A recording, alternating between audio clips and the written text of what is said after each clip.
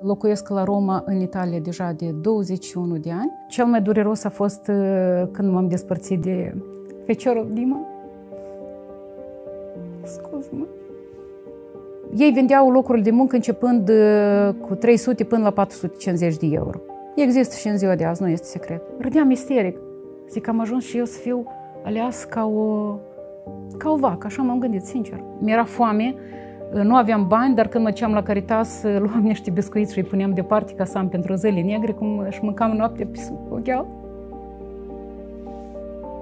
Noi ne simțim ca un fel de bancomat când revenim acasă. Sunt cazuri când albinele se rătăcesc. Deci de ce eu vreau să revin acum acasă? Eu simt că mă rătăcesc. Și albina când se rătăcește, moare. Migrantul, odată ce a plecat, el o să fie toată viața migrant. Just Consult, cetățenie română, lansează o super ofertă pentru cei care urmează să transcrie certificatul de naștere și cel de căsătorie românesc. Ai 10% reducere pentru fiecare certificat românesc transcris cu ajutorul companiei. Cu peste 20 de ani de experiență în domeniul perfectării actelor românești, Just Consult îți oferă siguranța și garanția de care ai nevoie. Transcrie actele de stare civilă legal, rapid și cu 10% reducere. Sună la numărul afișat pe ecran și bucură-te de ofertă.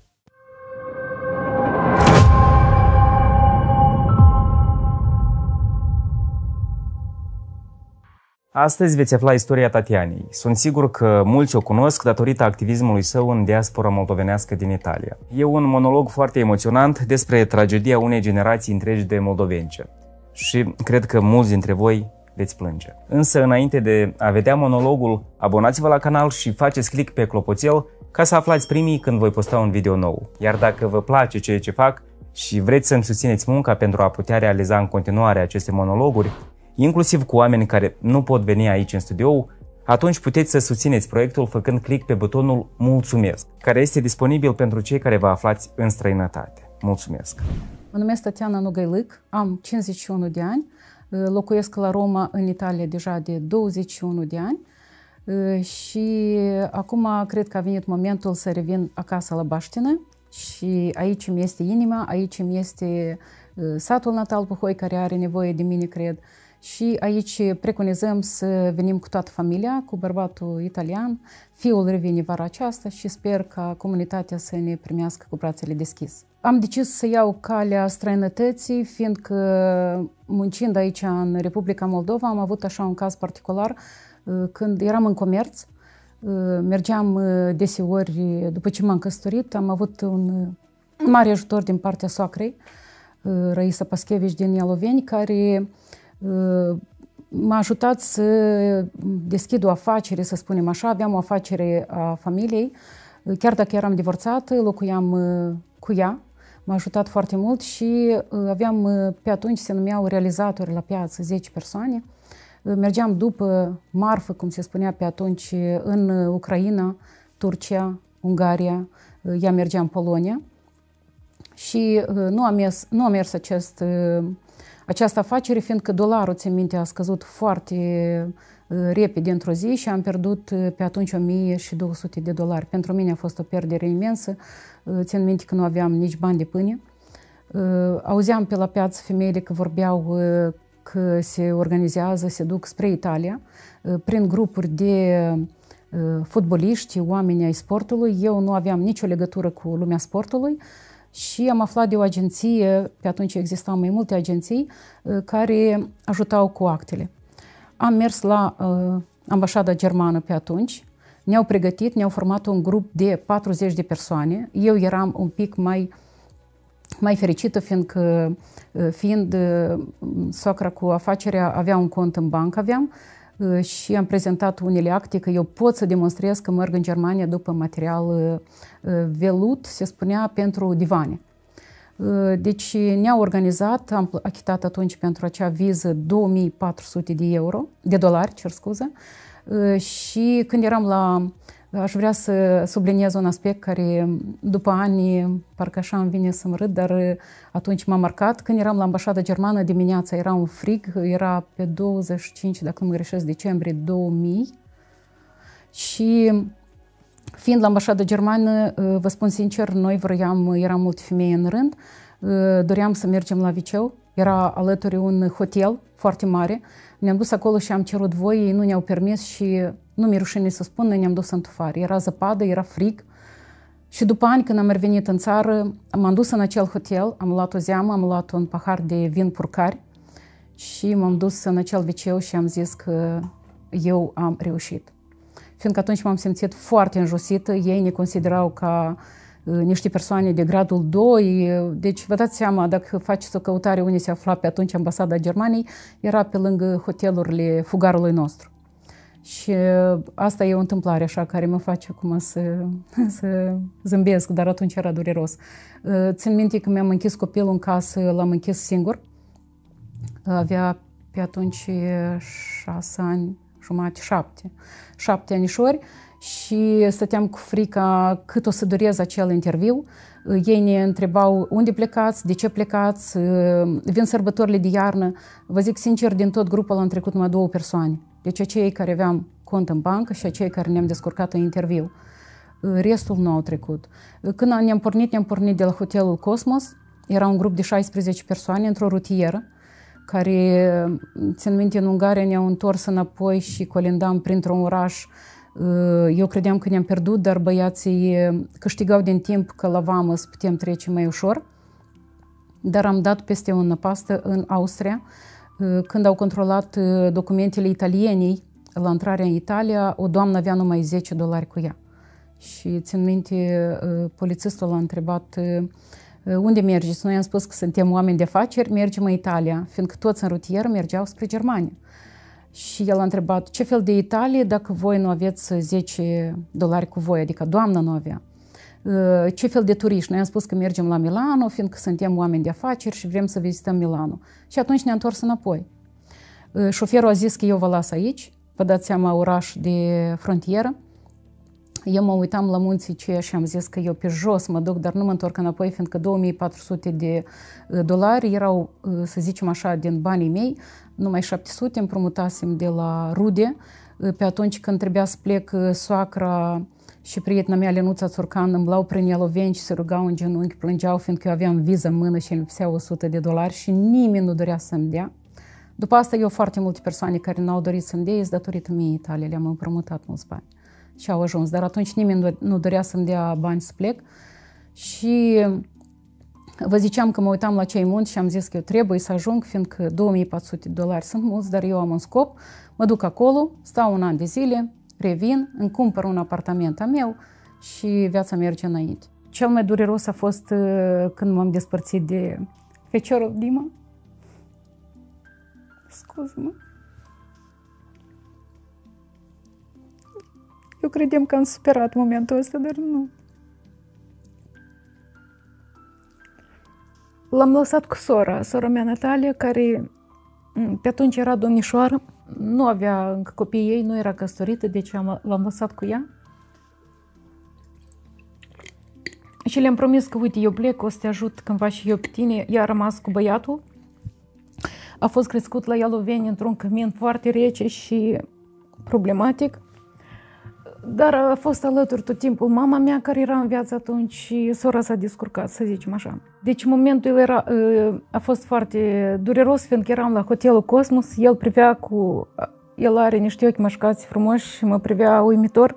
Nu a zis nimic, nu a plâns, dar a spus că a plâns acasă. Și după trei ani când am revenit, m-am culcat lângă el și el toată noaptea așa atingea să vadă dacă eu nu am fugit. O, Doamne, scuză-mă. Deci el toată noaptea nu dormea și punea mâna să vadă dacă eu din nou nu am fugit, fiindcă copiii noștri credeau că noi i-am abandonat. Și asta este, este o problematică a copiilor noștri de generația 1, 3 și 5, așa cum îi numim noi acolo, care credeau că mamele i-au abandonat și și-au fugit, i-au lăsat în voia sorții, mai ales fiind băiat, băiații sunt mai sensibili ca fetele și depinde și cu cine le și copiii. Ne scriam numai prin scrisori, momentul desigur a fost foarte durut, eu tot drumul am plâns și nu-mi imaginam cum o să lăs copilul pe un an, dar s-a primit așa că l-am lăsat trei ani, fiindcă toți cei care sunt în Italia știu că autoritățile italiene Am așteptat permisul de ședere trei ani. Din pricina că au greșit o literă sau din pricina că lucrează persoane incompetente sau ne făcea să așteptăm de cea măsură șapte ani. așteptat și copiii au stat acasă fără ei. Băiatul, acum când vorbim după ani de zile, deci el nu mă acuză, nu nimic, dar când am venit în Italia a fost necesar de o perioadă oarecare ca să restabilim relația între noi, mamă și fiu. Și Desigur, acum este totul bine, dar la început acel gol care noi am lăsat în viața copiilor se simțea. Spuneam că ne uitam la cei munți înalt și ziceam că noi nu ne întoarcem înapoi. Șoferul ne-a lăsat și a plecat. Era un fric de scrăpa maxilarele.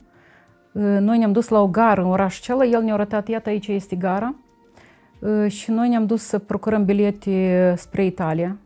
Am găsit bilet numai orașul dat, am biletele acasă, le păstrez, până la Veneția. Din Veneția trebuia să trecem alt tren. În tren, când ne-am urcat, doamna care avea numai 10 dolari, noi toți am ajutat-o. Am pus mână de la mână și n-am lăsat-o acolo. Deci ea a mers cu noi, le-am procurat și ei bilet. În tren era control. Noi când am văzut poliția, noi am spus că ne așezăm fiecare pe scaune diferite. Vă rog, nu toți într-un vagon. Când ne-am trezit, eram toți într-un vagon până la urmă, fiindcă ne temeam. Nu cunoșteam limba nimeni, nici engleză, nici italiană. Și când am văzut că vine controlul în vagon la noi, eu am ieșit și m-am dus la baie. În baie am aruncat Biblia, o carte care o procurasem înainte de a pleca de pe stradă din Chișinău, oamenii care vând cărți, și dicționarul italian-român. Fiindcă aveam frică de poliție că dacă mă găsesc cu dicționarul italian român, vă zic sincer, nu țin minte moldovenesc sau român cum era, uh, ei uh, o să-și dea seama că eu mă duc în Italia. Dar noi eram uh, oameni de afaceri care mergeam în Germania.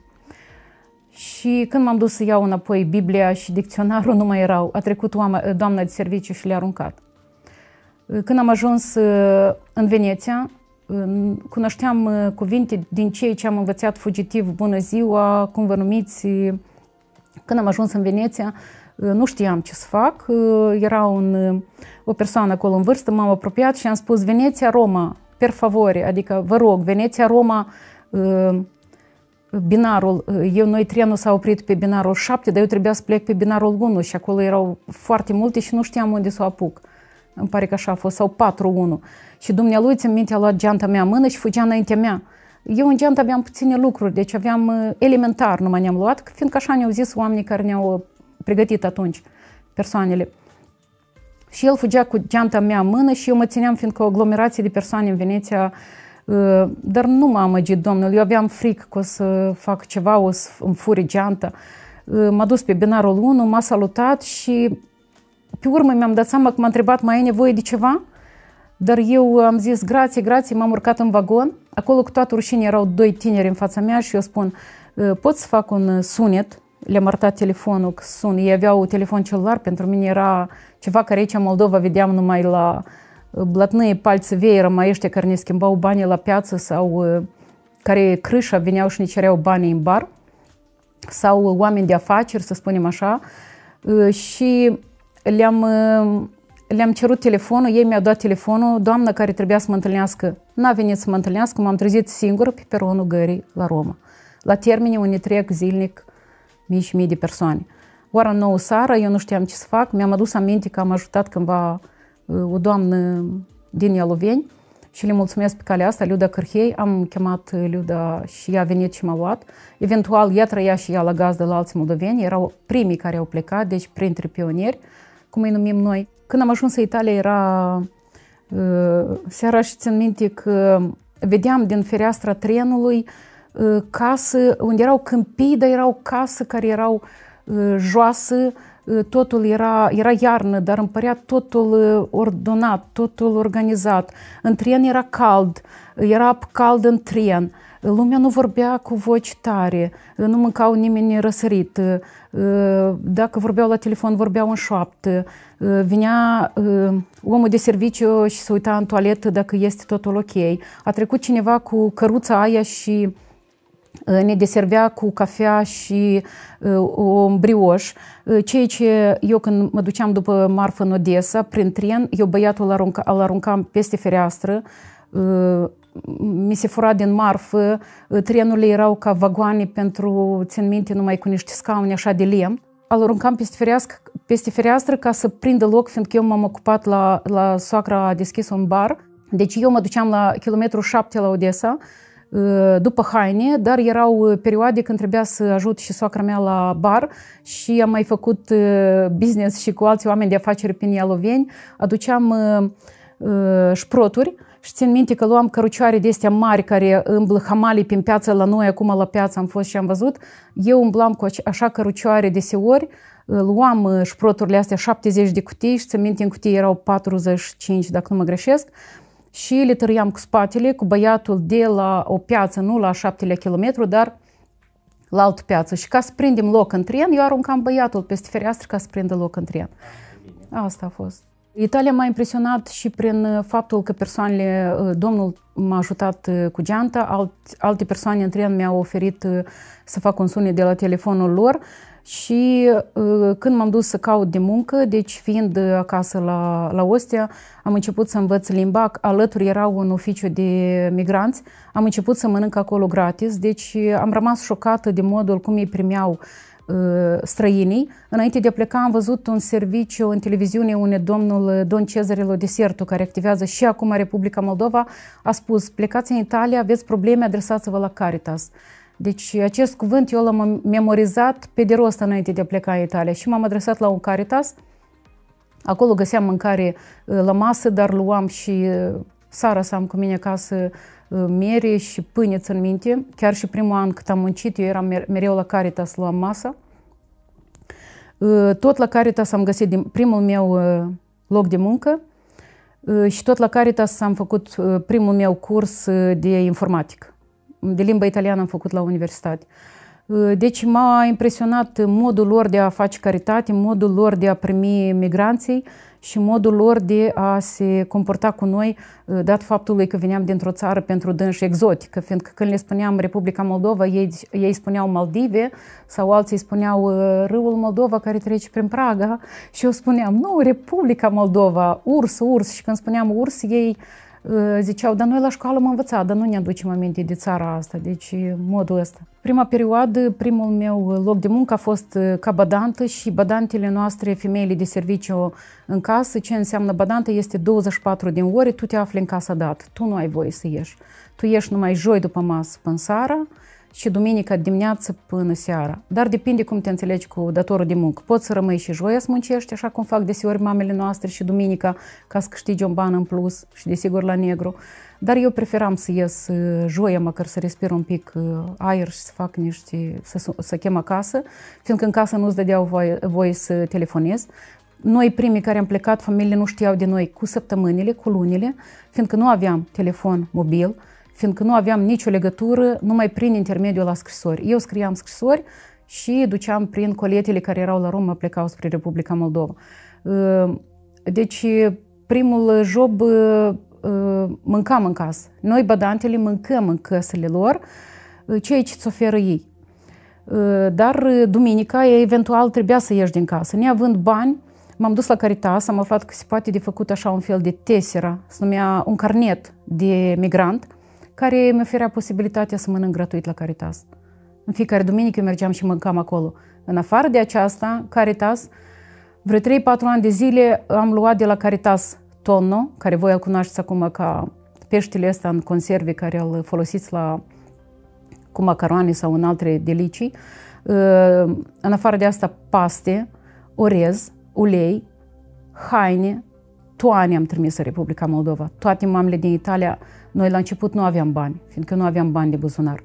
Uh, mi-am făcut un fel de teseră care să circul lunar, uh, să nu achit uh, biletul dus și întors. Pe atunci nu erau organizații, pe atunci nu erau asociații, pe atunci Ambasada Republicii Moldova s-a deschis în timp. Noi nici idee nu știam că există Ambasada Republicii Moldova. Biserica s-a deschis după ceva timp. Noi stăteam la termene unde era locul moldovenilor, unde se întâlneau moldovenii și căutau de lucru sau își schimbau telefoanele. Pe atunci la Roma era o școală abandonată, nu, două școli unde dormeau moldovenii, își construiau din fanier, cum aduceau bărbații de la muncă sau femeile, își construiau camere. Erau moldoveni care vendeau locul de dormit. Erau moldoveni care vendeau locuri de muncă la termine sau în alte sau una, am înțeles că s-a pus de acord cu datorul de muncă, lua femeile la muncă și peste o săptămână oarecare își băteau joc de ele în sens că le tratau rău și femeia pleca. Și în așa mod moldoveanca noastră a găsit o modalitate să facă bani. Deci dacă moldoveanca pleca după o săptămână, ea lua pe alta. Deci cu datorul de muncă s-au acordat. Au fost foarte multe, foarte multe cazuri de acest gen. Se întâmpla că uh, tu pleci la termine locul moldovenilor de întâlnire, uh, se apropia o moldoveancă și te întreba, ai nevoie de muncă? Uh, da, o ducea acasă la bătrână sau la bătrân, dar ea era în acord cu italianul, că uite, o tratez rău, face în așa mod ca ea să plece. Și desigur, la unele umilințe, la unele atingeri, că italienii mai îndrăzneau să atingă femeile noastre sau la unele umilințe atât de mari nu rezistau femeile noastre. Aceste femei, chiar dacă aveau avansuri sau chiar dacă își băteau joc de ele, ele nu suportau și plecau. Moldoveancă dată lua altă femeie și în așa mod ea câștiga foarte mulți bani împreună cu italianul și asta este un caz concret. Deseori în Italia se vendeau locurile de muncă și nu numai la Roma, și la moment se vând locurile de muncă. Și la moment este o migrație silențioasă, aș nume din Republica Moldova, a femeilor cu pașaport biometric, mai ales în sudul Italiei, care lucrează la negru și li se ia pașapoartele. Ei vendeau locurile de muncă începând cu 300 până la 450 de euro. Există și în ziua de azi, nu este secret. Sau multe femei plecau acasă și spuneau eu plec, îți lăs locul de muncă, tu îmi dai un salariu. Deci dacă locul de muncă costa 1000 de euro, tu primul salariu trebuie să-l dai persoanei care te-a lăsat la muncă. Salariul, ca să vă zic despre istoria mea personală, când am ajuns în Italia, primul salariu l-am avut în lire. Atunci exista lira și mare mi-a fost mirare când mergeam la piață și italienii aveau un fel de, de calculator mic unde ei făceau calcule o liră câți euro. Dar noi făceam calculul este deja în minte. Deci când m-au trimis din casă să mă duc la piață să procur ceva, eu nu înțelegeam de ce toți aveau aparatul ăsta. Și eu zic, cum? Noi am învățat, noi făceam calcule foarte repede, da? Dar ei încă, prima, primul leafă l-am avut în lire, uh, s-a primit 430 de euro. Am muncit așa cu, cu leafa aceasta un an, în familia dată. Primul uh, job l-am obținut la o biserică, cum spuneam, la Caritas. Acolo uh, mergeau persoanele noastre să găsească un loc de muncă.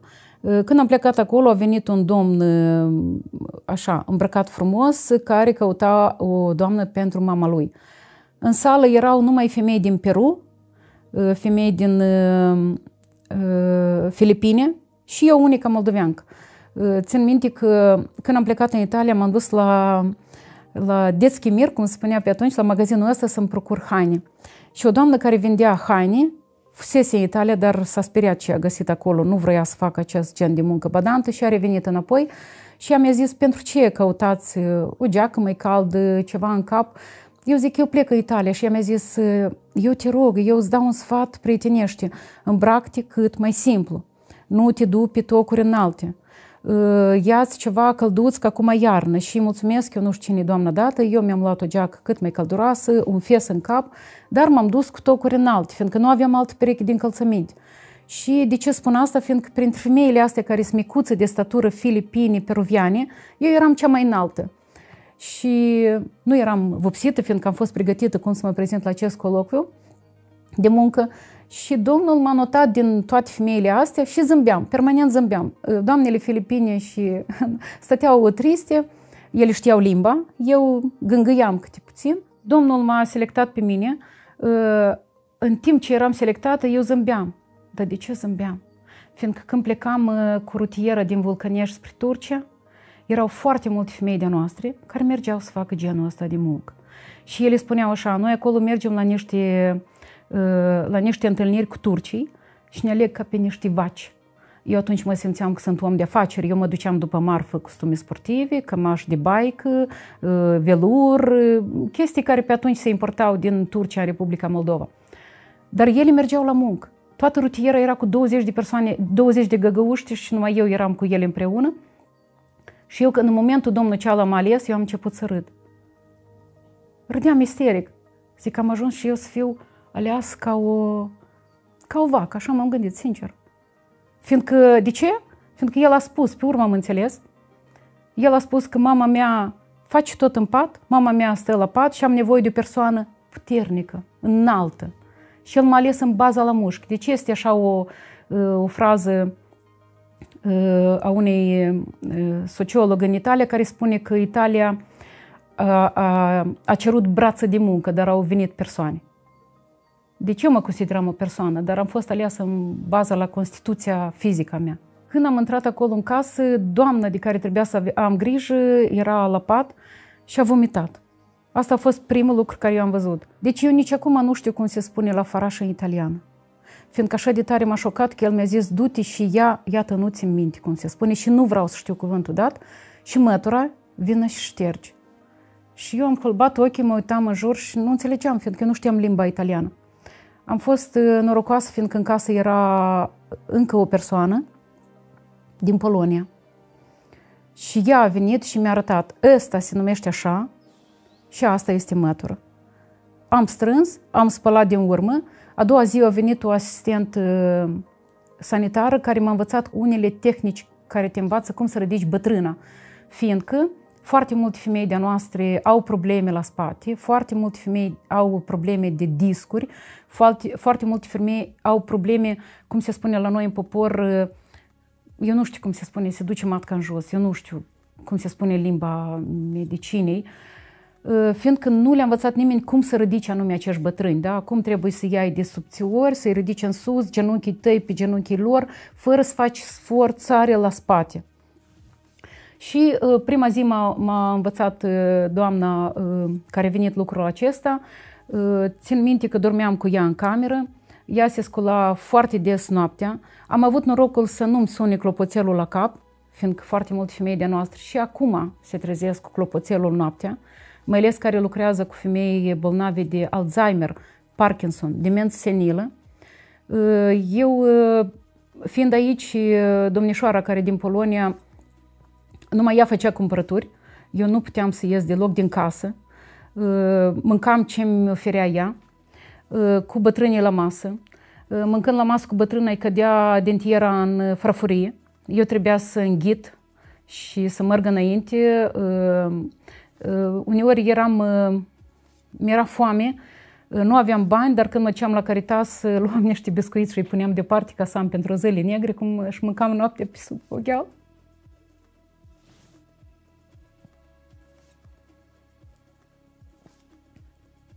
O, Doamne, Dorina. Îmi trezești niște amintiri, scuză-mă. În Italia nu că nu ne oferă de mâncare, dar bătrânii. Noi cu toții știm că ei nu uh, se alimentează așa cum se alimentează unul tânăr. Uh, seara, deseori la cină, la cină bătrânii mănâncă numai o ministrină, așa spun ei. Dar ministrina asta este un fel de apă cu verdură, da? cum la noi bulion, și cu o de macaroane, pastin, al brod, așa spun ei. Sau puteau să mănânce numai niște mazăre fiartă cu un ou. Dar tu care muncești toată ziua, deci trebuie să speli casa, viceul, să ridici bătrâna, să faci eforturi, casele erau mari, case mari de avem femei care lucrează în casă de 500 de metri pătrați, la 3 etaje, ă, călcat, la dâns și femeile noastre călcăm și chiloții lor, călcăm tot, deci totul se calcă. Și mai ales ă, cu timpul am început să merg la ore, joia când eram liberă mergeam la o italiancă și duminica mergeam la altă italiancă. Deci eu practic nu aveam, ă, nu aveam foarte mult timp liber. Femeile noastre deseori încearcă să aducă în casă, că pregătească ceva de-al nostru, dar ei încep că ă, putea usturoi ă, sau nu, nu ne-a fumega casa sau nu pot să-ți permit să folosești gazul meu, fiindcă trebuie să folosim ă, plita de gaz. Deci e foarte multe mame de ale noastre, foarte multe mame de ale voastre, dragi conaționali, mănâncă pe deascuns sau mănâncă sub plapumă noaptea ca să nu fie văzute de, de bătrâni. Ă, deci, la mine s-a întâmplat că ă, munceam din greu și fiind la ore joia și nu reușeam să mă duc la Caritas. Ă, duminica trebuia să fug la Caritas la Ostia să mănânc, să-mi iau ceva sara și de la Ostia trebuia să iau trenul să vin înapoi. S-a întâmplat că am leșinat în Roma odată, Dar înainte de a leșina, am făcut un sunet bărbatului cu care stau acum deja 20 de ani, consortul meu. Am sunat și am spus că eu mă aflu la Valea Aurelia și am spus număr, am spus unii mă aflu la bar și am leșinat când am zis mă găsesc în bar. Cum spuneam, joia noi ieșeam, eu ieșeam și făceam ore prin Roma și bunica la care mă duceam este alt aspect. Te duceai, dar dacă eu ieșeam din casă după ce am mâncat prânzul, pe atunci prânzul consista, era dintr-o farfurie de macaroane cu o lecuță de, de roșii, de tomat, trebuia să fug la ore, la ore, ce înseamnă la ore? Sunt diferite de categorii de migranți, badante, colf și babysitter. Femeile noastre fac aceste munci. Colf asta înseamnă că tu te duci la ore la o persoană, de la o oră anumită până la o oră anumită, trei ore, tu nu te oprești deloc. Mai ales dacă datoarea de muncă stă lângă tine. Așa era atunci când nu știi limba și când stă datoarea de muncă lângă tine, tu trei ore numai la viceu poți să pleci. Deseori nu-ți oferă nicio cafea și pur am înțeles și dădeam sfaturi la alte femei că când vă oferă o cafea și vă zice să vă așezați, așezați-vă și luați cafeaua, fiindcă noi ne rușinăm. Dar cum sunt italienii? El îți propune odată. Dacă tu nu accepti, el nu-ți mai propune deloc. Și asta am simțit-o pe pielea mea în foarte multe ocazii. Dorin, dacă îmi permiți, o să-ți explic ce face o badantă. Deci depinde, cum am spus la început, sunt diferite categorii de oameni bolnavi în Italia. O badantă depinde de norocul ei unde a mers. Dacă bătrânica este la pat, eu mă sculam dimineața, o să fac exemplu pe, pe mine. Eu mă sculam dimineața, în primul rând trebuia să-i schimb pampersul. Și când deschizi, mai ales vara, când e soare, închipuiți-vă o bătrânică de 90 de ani, când deschizi pampersul, ea toată noaptea urinat sau a făcut ceva altceva. Trebuie de schimbat pampersul. În afară de aceasta, trebuie să fii foarte atent cum o întorci pe o parte, pe alta. Depinde ce uh, grad de invaliditate are, depinde ce dificultăți are persoana dată. Uh, dacă eram în două, eu am avut noroc să fim în două cu fetița din Polonia, ridicam ambele și o duceam în baie să o spălăm, în bidă. Deci făceam igiena personală. Uh, după aceasta, uh, din baie mergeam să luăm primul dejun Desigur, după primul dejun trebuia să aveam așa un scaun înalt care l-am trimis în Moldova pentru o persoană invalidă după ce a murit bătrânica mea. Eu toate, noi toate trimitem acasă după ce ei mor panoloni, toate instrumentele acestea cu care ei se mișcă prin casă. Noi toți vrem să ajutăm cei care au rămas acasă, rudi sau nu. Eu le-am trimis la oameni străini, în Puhoi sau unde era nevoie. Noi trebuia să luăm bătrânica și cum ne-a învățat asistenta care vinea, să o punem să meargă prin casă jumătate de oră. Tu trebuia să stai lângă ea ca ea să nu cadă. După aceasta, dacă eram vară, noi ne transferam în alt oraș, foarte multe femei se transferă cu ei la munte sau la mare. Dacă bătrânica este în grad să meargă, tu ești nevoit, nu ești nevoit. Noi spunem, mulțumim Domnului că reușim să ieșim afară, să ne plimbăm un pic cu bătrânii în parc, fiindcă respiri și tu un pic de aer, vezi lume, comunici, vezi un câine, vezi un copil, vezi ceva în realitate, dar femeile care nu reușesc să iasă din casă, toată, toată ziua este, în, este cu acea bătrânică. Și nu iese deloc, deci ies numai joia și duminică. După ce bătrânica a mers prin casă, noi, țin minte, o așezam la televizor, trebuia să avem grijă de ea, să o acoperim ca să nu răcească, să o peptănăm, să-i facem prima, în afară de prima igienă, să-i tăiem mustețele dacă are musteți, să-i spălăm uh, dantura cu diferiți detergenți, să punem dantura aceea într-un fel de lichid care să-i ucidă microbii din gură. Adică Asta era până la prânz. După ce am mâncat bătrânica la prânz și noi mâncăm cu ea la masă, ea a mâncat diferit de noi, fiindcă era bătrână, nouă ni se ofera să mintim macaroni. Macaroni, macaroni. Și chiar dacă mâncam macaroni, la ei ă, doza pe cântar erau 80 de grame cu o lecuță de, ă, de tomat deasupra. Eu slăbisem foarte mult. Am plecat, dar nu era problema asta, pur și simplu că ești slab, tu nu ai puteri ca să o ridici. Ă, după asta bătrânica mergea la somn. Ceea ce este la italieni specific, ei e pizolino, să numesc, Pisolino pomediano, adică ei toți după masă dorm și nimeni nu are dreptul de la ora 1 până la ora 3 sau de la ora 2 până la ora 4 să ne sune în casă. Niciodată nu s-a întâmplat cât eu am lucrat acolo ca cineva să facă un sunet, nici rudele. Alt aspect este că după ce scula bătrânica după masă, Noi din nou să începea procedura cu panolonul, dar în zi noi trebuia să fim atenți dacă ea face tot în, în panolonul ăsta, în pamper, să o schimbăm, să o spălăm efectiv.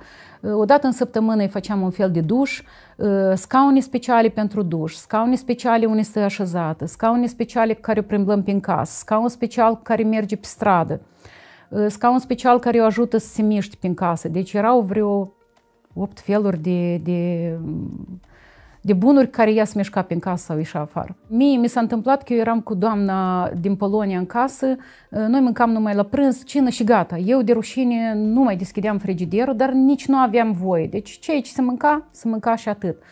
Cunosc sute de cazuri, în 21 de ani am vorbit cu mii de femei de ale noastre, unde bătrânica, spre exemplu, Sara, uneori bătrânica mânca acea minestră, da, și la badant o întreba, da și ți a mânca? Adică că cum ar fi că mănânci și tu? Putea să nu ofere nimic de mâncare. Uh, am citit o carte, este o doamnă din România, scrie cărți pe istoria acestor femei și a ei personală, când a mâncat un ou și a strâns corjele repede să nu vadă bătrânica că rămăsă trei ou în frigider uh, ferte, a strâns corjele și se-a dus și le-a îngropat în grădină după casă, ca bătrânica să nu, să nu vadă. Dar a avut noroc, fiindcă bătrânica era Alzheimer și nu ținea minte câte ouă a fiert. Dar dacă bătrânica e de asta ageră, care merge pe picioare, care îți numără și uh, cum se numește, uh, știe ce este în casă, la dâns și totul este pe normă. Uh, sau, spre exemplu, cafea, nu poți să faci când vrei tu cafea, servești o cafea în timpul zilei. În timp, în ani, dacă tu locuiești în casa dată, 20 de ani, 10, 5 ani, deja ei intră într-o armonie cu tine, deja te cunosc și fii, și fiicele și îți permiți unele lucruri. Când o badantă intră în casă, nu există bunica și ea. Există și fiul sau fica sau rudele care se formează un triangol, un triunghi. Și ea nu are raport numai cu bătrânica. Cine o plătește, îi deasupra piramidei și ea trebuie să, să intre într-o simbioză cu datorul de muncă sau uh, să comunice, dar deseori sunt conflicte, fiindcă acești datori de muncă, acești fii, fiice, aduc de călcat la, la femeile noastre, mai ales dacă locuiesc în căs de astea mari, unde trăiesc toți într-o casă, fiindcă la dânși familia e sacră și locuiesc uneori bunica, un ficior, o fiică, rude prin toate părțile, mai ales prin satele astea departe de orașe sau orașe mici și ea este nevoită să calce la toate rudele, dar la dânși scalcă începând de la chiloței și până la cerșafuri. Totul se calcă. Și femeia nu are timp liber. Uneori femeile noastre preferă să rămână în casă, iată și să facă suplimentar, dar deseori sunt cazuri care nu sunt plătite pentru munca dată și de ele se profită. Eu am avut ocazia să muncesc la Caritas, unde persoanele vineau și cereau locuri de muncă. Păi iată, datorii de muncă când chemau la telefon, primii ani, în 2006 am lucrat, un an Ă, când mă chemau la telefon, ei spuneau ă, Vă rog frumos numai să nu aibă dinți în gură de aur, că voi tăti care veniți din Europa aveți dinți de gură de, de aur și eu mă tem ca să nu mă furi în casă.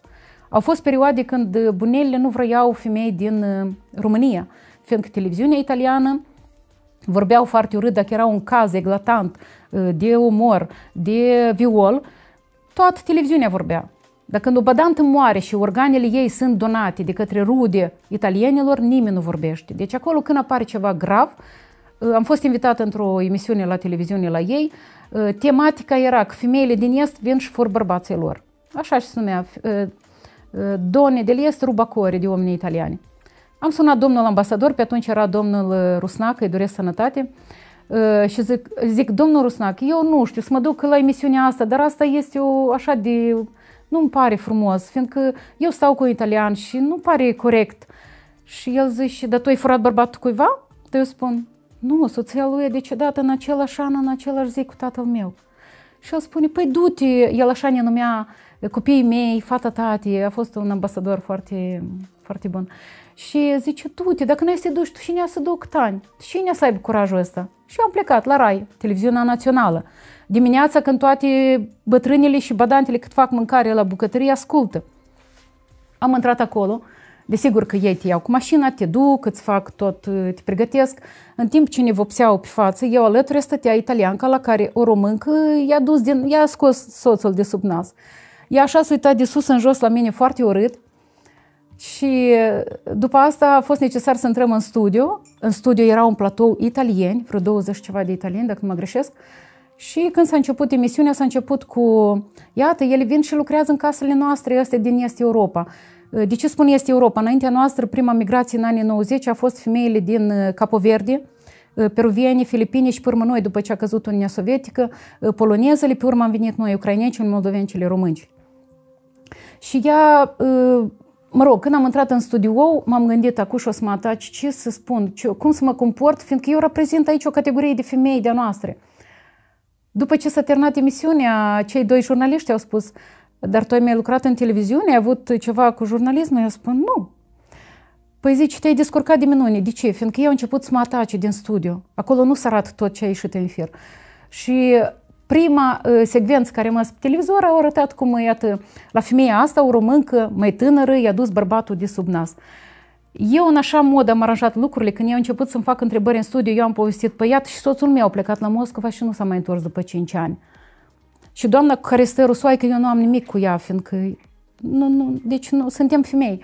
Și până la urmă am rămas prietenă cu bătrânica dată, am plecat împreună cu taxiul, ne-au dus acasă și ea încă mi-a oferit loc de muncă pentru o femeie, pentru o altă cunoscută de ei, dar când s-a terminat emisiunea, ea a sfârșit cu cuvintele a făcut bine că mi l-a luat, fiindcă eu acum sunt liberă, mă duc la palestră, ies și joc cărți, mă duc cu prietenii mei, fiindcă în Italia bătrânii și copiii sunt o categorie foarte protejată de statul, legile italiene. Bătrânii pe stradă la mine au un centru cultural unde ei poate să duc să facă bicicleta, să învețe calculatorul, să socializeze, să joace jocuri de masă foarte distractive, se întrunesc și pleacă deseori cu autocarul prin călătorii religioase, sau Fatima, sau prin Paris, sau prin diferite țări a lumii, fiindcă pensia le permite. Deci eu am avut noroc cu locul meu de muncă cu prima bătrânică mea, fiindcă ea nu vorbea. Ea comunica cu ochii. Și când a murit, eu plângeam mai tare ca, ca rudele. La dâns nu există chestia că trei zile îl ții în casă, eu țin minte că au dus-o la cimitir și eu când am văzut că ei nu pregătesc nimic, eu m-am dus la magazin, am vorbit cu o verișoară de lor și am zis că poți să-mi dai, te rog, 50 de euro, eu că să fac un bine, să se comparte bine cu mine. M-am dus la magazin și am procurat să minte salam, dar ei nu prea iubesc salamul, nu mănânc salam. Am procurat salam, o sticlă de vin, pâine. Eu credeam că ea să vină până toți acasă. Ei n-au venit acasă, rudele. Noi ne-am dus acolo la cimitir, au pus-o în, au așezat-o în scripta, sau cum se spune, nu se minte acum, s-au luat rămas bun toți de la ea, o liniște mortală, ceea cum vedeam noi în filmele Maria Jose, da, erau și agent de filme pe atunci, în liniște totală, nimeni nu a plâns, nimeni nu a vărsat o lacrimă, dar eu cu fata din Polonia plângeam, fiindcă am rămas fără muncă. Eram unicele care plângeam la mortul, la mortul cel la cimitir. Cunosc foarte multe femei care au văzut uh, să moară 4, 5, 6 bătrâni. Femeile care sunt acolo deja de 25 de ani, prin mâinile lor au trecut foarte mulți bătrâni care, uh, care au decedat. Ceea ce este grav pentru societatea noastră aici, dar mai ales pentru noi care suntem acolo, că noi avem grijă de copiii lor, de părinții lor, de casa lor. Pe când aici, în Republica Moldova, părinții noștri șed singuratici prin sate și îi vedem numai o dată pe an atunci când datorul de muncă îți permite să mergi acasă. În Italia, noi permitem la alte femei să se dezvolte, fiindcă ele muncesc. Noi permitem la alte familii să fie unite, fiindcă noi menținem curățenie în casă, avem grijă de bătrânii lor, cândva aveau grijă ei de bătrânii lor. Dar în anii 68, când a avut loc Revoluția Sexuală sau Revoluția Femeilor, când au cerut și ele drepturi în Italia, au început să muncească, au început să aibă dreptul la divorț și iată, ele își permit acum să aibă femei de serviciu. Ceea ce eu nu știu dacă femeile noastre o să-și permită la revenire. Fiindcă o să avem o criză, eu presupun că peste vreo 10 ani o să revină în țară acele femei care au plecat ca mine cu 20 ceva de ani în urmă, Multe din ele au muncit la negru, multe din ele au trimis toți banii acasă și au intrat într-un vârtej din care nu mai văd ieșirea. La ce mă refer? Când au plecat, au lăsat copiii mici. Între timp, ca și mine, s-au gândit că vin pe o nană Italia. Între timp, copiii mergeau la școală și nu au avut bani suficienți ca să adune, fiindcă noi trebuia să mai dăm și datoriile și uitați-vă că sunt moldoveni care au luat la 30%. Sunt foarte mulți care trebuiau să lucreze 3-5 ani, ca rudele mele, 3 ani au muncit, n-au văzut copiii 7 ani, ca să întoarcă acele datorii. Pe urmă începi să muncești pentru tine. Deci cei care sunt acasă nu comunică cu noi și nu știu aspectele astea. Deci aceste mame au intrat într-un vârtej. Copiii când ne duceam, uneori nici nu le spuneam, noaptea, pe ascuns. A mea au văzut când am plecat, dar mulți n-au văzut când mamele plecau, fiindcă mamele nu vreau să trăiască durerea aceea de despărțire. Uh, și ne simțim vinovate. Uh, noi rămânem acolo și trimitem bani acasă. Copiii fac grădiniță, apoi merge școala. La școală se încep uh, a cere unele economii pentru caiete, pentru creioane, pentru învățători, pentru profesori, pentru fondul școlar. Mamele rămân ca acești copii să crească, după aceasta să începe liceul și copiii pe urmă vor să meargă la o facultate, la o universitate. Mamele rămân ca copiii să își plătească universitatea, au devenit private unele universități, să-i mențină cu haine și cu îmbrăcăminte. Între timp, soții nu găsesc aici de muncă și mamele îi susțin. Apoi acești copii se îndrăgostesc. Mulți din ei se căsătoresc, la noi se căsătoresc tineri copii aici, și ele rămân ca să facă bani de o nuntă. După nuntă apar nepoți, după nuntă copiii încep să spună mamă, dar eu nu vreau să mai stau la țară sau nu vreau să stau în căminul ăsta, fiindcă foarte mulți din noi am plecat de prin căminile Chișinăului, Ialoveniului și tot așa mai departe. Noi vrem un apartament. Și iată această mamă badantă rămână, rămâne ca să facă un apartament la copii. După apartament, acești copii spun, mamă, aici nu am găsit nicio perspectivă, m-am format, am studii superioare, îți mulțumesc, dar eu vreau să plec în Canada, sau eu vreau să plec în Germania, sau eu vreau să plec în... Uh, nu vin în Italia copiii noștri. Fiindcă am fost invitată la un congres unde m-a invitat uh, Tatiana, au dispărut badantele din ES, ce se întâmplă? Și eu am întrebat, cer scuză, dar la noi Moldova nu este un sac unde ies uh, permanent oamenii, fiindcă foarte mulți nu vin numai în Italia. Ei credeau că moldovenii se duc numai în Italia, fiindcă limba este aproape de limba neolatină italiană, deci limbile și mulți se duc acolo din femeile noastre. Foarte multe femei badante au reușit în timp să-și aducă soții, s-au dus pe contul lor, au devenit oameni de afaceri, avem în jur de 6.000 de oameni de afaceri, au deschis bărbații pe șantier, uh, uh, lucrează pe șantier, dar iată copiii lor nu mai vor să rămână în Italia. Deci ei pleacă în alte țări mai dezvoltate, fiindcă Italia nu ne permite să muncim pe profesia noastră care am avut aici în Italia. Deci, din păcate, acordurile acestea care ne-am format aici în Moldova. Și din păcate și copiii italienilor acum, la moment, foarte mulți pleacă spre Londra și țări mai dezvoltate. Din păcate. Mamele noastre uh, care au copii acum plecați în străinătate, foarte multe povestesc cum uh, dacă cândva cu copiii lor comunicau prin uh, tesere de astea electronice la telefonul din stradă, apoi prin Skype, acum comunic copiii lor prin uh, WhatsApp sau prin Viber. Dar acești nepoți nu mai vorbesc, uh, care se nasc în țări străine, nu mai vorbesc limba bunicilor și ele, din păcate, nici nu pot comunica cu nepoții lor. Și avem o generație de mame care s-au sacrificat, Uh, și avem o generație de copii tineri care s-au format aici și iată, dacă ați observat la alegerile, ultimele alegeri, eu am analizat cine stătea în rând în Germania să voteze toți erau tineri. Eu aproape n-am văzut persoane de vârsta mea. Sau la Londra.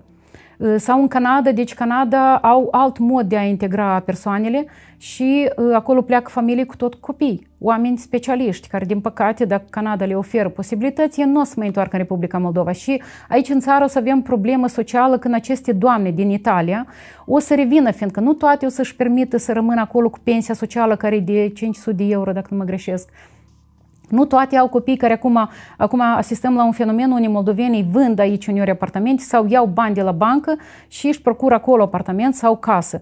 Ele nu, uh, nu o să vrei să împiedice la copii, dar știți, mai este un sentiment când tu vrei să vii să mori în țara ta.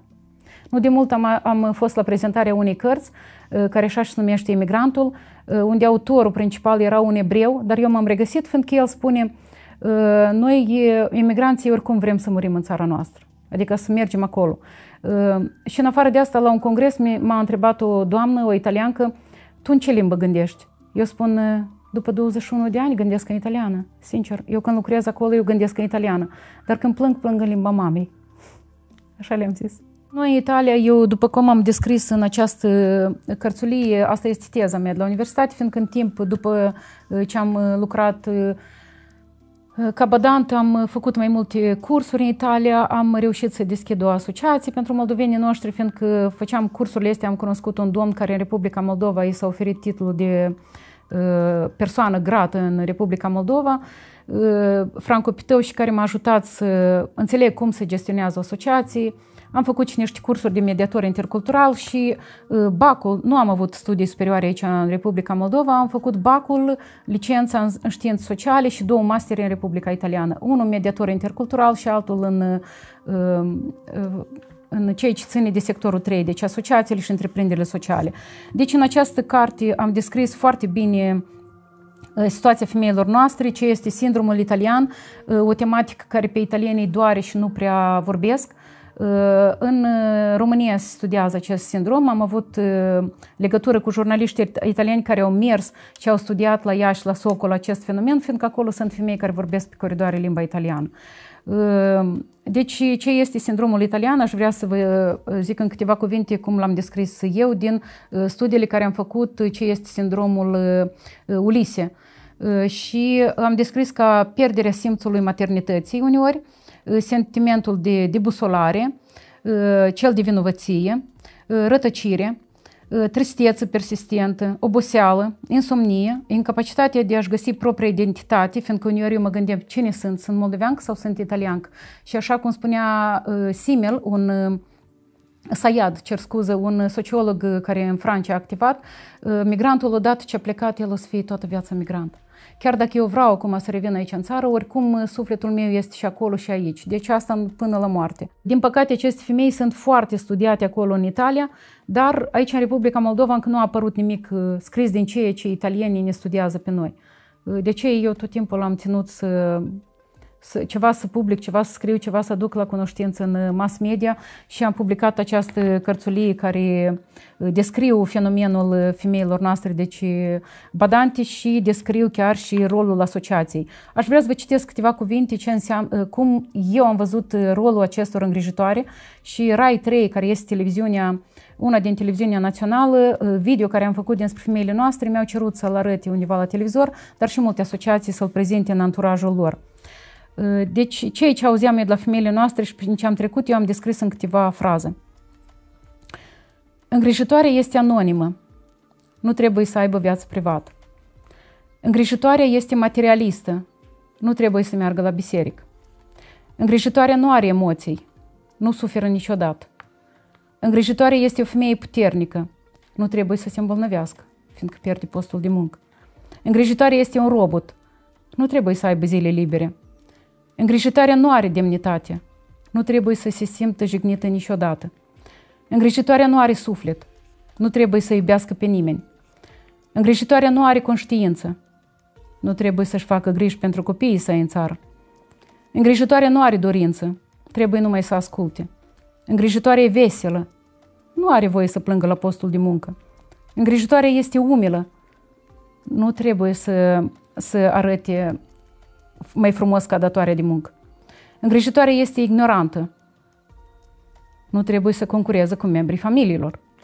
Îngrijitoarea nu are poftă de mâncare, dar trebuie să știe găti gustos. Îngrijitoarea nu trebuie să trăiască, deoarece nu trebuie să coste. Îngrijitoarea este nemuritoare. Trebuie să aștepte moartea bunicii. Acum femeile noastre au ajuns la o vârstă oarecare acolo, da? care au plecat când aveau 40-50 de ani. Ele acum au 70 de ani ele. Și iată acum italienii când mă cheamă, fiindcă avem un cerc foarte larg care apelează la mine, uh, italienii spun, Tatiana, te rog frumos numai să nu aibă vârsta mamei sau să nu fie grasă dacă se duce la ore, fiindcă trebuie să sui pe scară, nu cumva să cadă jos. Uh, te rog frumos numai să nu fie bolnavă, să fie sănătoasă. Uh, te rog frumos numai să nu aibă soț aici, dacă te duci să muncești ca badantă, fiindcă badantă dacă are soț îngrijitoare, badanta asta este îngrijitoare, are soț, ea o să vrei să iasă mai multe zile, adică duminica o să vrei să rămână la soțul ei, just? Dar ele uneori pun, pun punct pe asta, să nu aibă soțul aici în Italia. Sau unele fete care, spre exemplu, se duc la familii, uh, unele familii sunt, care sunt bune, îți permit să aduci uneori și soțul în caz, dar fete tinerele, ei spun că uh, dacă nu are prieteni, ar fi încă mai bine. Deci care e viața noastră personală acolo? Din păcate, această migrație feminină a adus la foarte multe divorțuri în Republica Moldova. Când am studiat fenomenul italian a migrației, am notat faptul că când italienii plecau prin anii 800 spre America Latină, spre alte țări, plecau familii întregi, care aveau din urmă chiar și preotul. La noi, din păcate, au plecat mamele și asta în timp, în ani, din pricina autorităților italiene că nu ne făceau actele la timp și nu se vedeau cu soții trei ani, din pricina unor munci istovitoare și ele trimiteau bani acasă și deseori când au venit pe neprins de veste au găsit soții cu alte femei, din pricină că uneori mulți bărbați au trăit pe banii acestor femei, ele trimiteau acasă, am rudi care trimiteau acasă bani soțului, ei au cumpărat apartamente pe numele lor și la urmă s-au trezit că au rămas și fără apartament, deci avem și cazuri de genul ăsta. Din Pricina, aș spune, și a politicienilor noștri care nu au știut cum să gestioneze acest flux de migrație a femeilor, uh, cum să cum să facă politici de reținerea noastră în țară, adică să deschidă locuri de muncă, uh, din pricina lor care ne-au furat acele bănci, din pricina alianței care uh, ne-au promis un parcurs european, dar până la final nu l-am văzut, din pricina lor au fost foarte multe divorțuri în Republica Moldova. Pe noi ne doare sufletul când auzim că și preoții uneori uh, născocesc diferite anecdote pe seama femeilor. Uh, pe TikTok, uh, nu folosesc TikTok, dar știu că sunt cântice dinspre aceste femei care au plecat și anecdote, că ele acolo toate și-au găsit pe cineva. Iată, după ce v-am povestit azi toate lucrurile astea, aș vrea să vă întreb. Când și unde o femeie găsește acolo timp ca să iasă cu un bărbat? Eu nu exclud faptul că acolo avem femei care s-au căsătorit cu oameni italieni, sau cu alte naționalități. Dar acestea sunt cazuri, nu sunt multe. Noi suntem acum la moment 128.000 de moldoveni în Italia, uh, dintre care uh, aproape 70% sunt femei, dintre care 50% sunt badanti. Dar, repet, badanta asta înseamnă că ești cam pușcării în casă. Noi le numim, în sociologie se spun pușcării moderne. Suntem uh, sclavi în trecere, așa cum ne numesc sociologii italieni, eu aș vrea să vă întreb când femeile este găsesc timp și unde. Voi, cei care primiți colete acasă, în fiecare duminică, vă știți mama voastră cum face coletul? Ea când e liber joia, să duce să mai lucreze undeva ca să mai facă câțiva bani, să vă poată menține aici. Din vinovăție, mergeți la spectacol și vedeți spectacolul Constantincii mele Tatiana Lazar, Dragoste la pachet. Și o să vedeți ce povestește ea în spectacol. Deci aceste mame joie pregătesc coletele, iar duminica merg la biserică, ca să-și ierte păcatele, care păcate eu nu știu, noi ne simțim toate vinovate acolo. Multe mame uh, au plecat cu gândul să revină aici la familie, dar din păcate nu s-au schimbat multe lucruri și ochii care nu se văd se uită uneori și să știți că mulți copii, când vin mamele aici, uh, eu în carte am scris că mamele noastre sunt bancomat, fiindcă foarte mulți copii și rudi ne întreabă, dacă când pleci? Și pe mine mă întreabă, dacă când pleci? Deci noi ne simțim ca un fel de bancomat când revenim acasă. Și asta în ani a dus la o, la o distanță între noi și acei de acasă. Și vă dați seama o mamă care nu-și vede copilul 15 ani sau soțul și ea mai rămâne ca să-și termine casa la țară sau ca să cumpere un apartament sau ca să... S-au salvat puține familii din uh, migrație. Deci puține familii au avut inteligența, au avut curajul ca să-și mențină relația la distanță, adică soția acolo 15 ani, el aici 15 ani. Asta trebuie să ai o, o dragoste atât de mare, asta trebuie să fie o, o respect unul față de altul. Eu când am plecat uh, uh, aveam un bărbat cu care mă vedeam, uh, îl cunoștea și familia mea și am promis că după un an mă întorc. Dar, din păcate, așa a vrut soarta, că trei ani nu am avut acte. Am cunoscut acolo un bărbat uh, italian. Uh, deci, ceea ce m-a șocat când l-am cunoscut, uh, că șase luni de zile m-a curtat. S-a interesat foarte mult de viața mea până a veni în Italia. Nu mi-a dorit niciodată flori. Eu în 20 de ani foarte rar am primit flori. Eu am primit cărți, am primit bilete la teatru, Uh, am primit informații foarte multe, am primit respect, atenție și, cum spune el, uh, femeia nu se atinge nici cu roză. Ca să înțelegeți, niciodată nu a ridicat vocea la mine. Băiatul, când am plecat de aici din Moldova, Sergiu i-am spus că revin după un an, după aceea ne-am auzit câteva ori la telefon, dar eu nu am vrut ca el sufere sau eu sufăr când am înțeles că cu acest bărbat în Italia s-au trezit în mine niște sentimente după un an de zile, eu i-am zis că, uite, eu probabil nu o să mă mai întorc la tine, fiindcă nu este frumos să ții în suspans o persoană care, care mă rog, m-a petrecut când am plecat în Italia și mulțumesc și respect pentru asta. Pe actualul consort al vieții mele, Pierre Luigi, l-am cunoscut într-o biserică. Pe atunci el muncea la președinția Consiliului Ministrilor, era văduv și când am venit în Republica Moldova în 2007, am mers direct la cimitir la tatăl meu.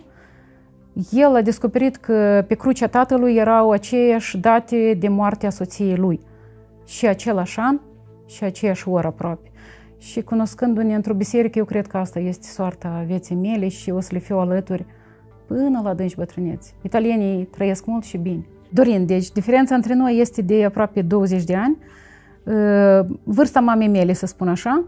Uh, când a venit în Republica Moldova, mama mea, eu mă temeam cum mama mea o să-l întâlnească. Uh, țin minte că am intrat, pe atunci îmi procurasem un apartament, stătea sora mea, am intrat în casă, mama stătea pe o așa, așa așezată, nu s-a sculat în picioare, dar el a mers la ea, s-a așezat în genunchi și a sărutat mâna. După nici 20 de minute, nepoței mei alergau prin casă după el și el s-a pus uh, pe jos. Uh, două nepoțele, Iuliana și Nicoleta, stăteau deja pe spatele lui și el fugea cu ele prin casă. Mama s-a uitat la mine și a spus, de unde ai găsit bărbatul ăsta? și a fost foarte fericită. Diferența de vârstă nu se observă, uh, fiindcă când două persoane își vor bine, nu notez lucrul ăsta. Deci eu îl văd ca pe un bărbat de vârsta mea. Ă, mai ales că avem aceleași ă, idei, avem aceleași scopuri în viață, avem aceleași viziuni față de ceea ce ne înconjoară și față de ă, copiii noștri. Deci, făcând munca pe care o fac acum în Italia, tot timpul m-a încurajat să-mi ajut țara la distanță și rolul lui este că mă, cu mașina, benzina, timpul și mașina lui m-a ajutat foarte mult să ajut și cu naționalii mei. Prin casa noastră au trecut vreo 60 de persoane, pe când ambasada nu era încă la Roma, era în nordul Italiei, nu exista la Roma consulat, cer scuze. Când sunt alegeri, a fost primul cu drapelul prezent în piață, drapelul Republicii Moldova. Când a venit aici în Republica Moldova, s-a îndrăgostit de țara noastră, a investit aici. Am adus și vreo șapte prieteni de lui care au investit aici au venit cu, uh, în sectorul uh, imobiliar, dar și bancar. Cunoaște tot dinspre Republica Moldova, dinspre politica Republicii Moldova. Uh, când venim acasă, mergem să luăm masa în localurile astea care tradiționale. Îi plac foarte mult sarmalele, dar din păcate are alături o persoană care nu are timp să le facă.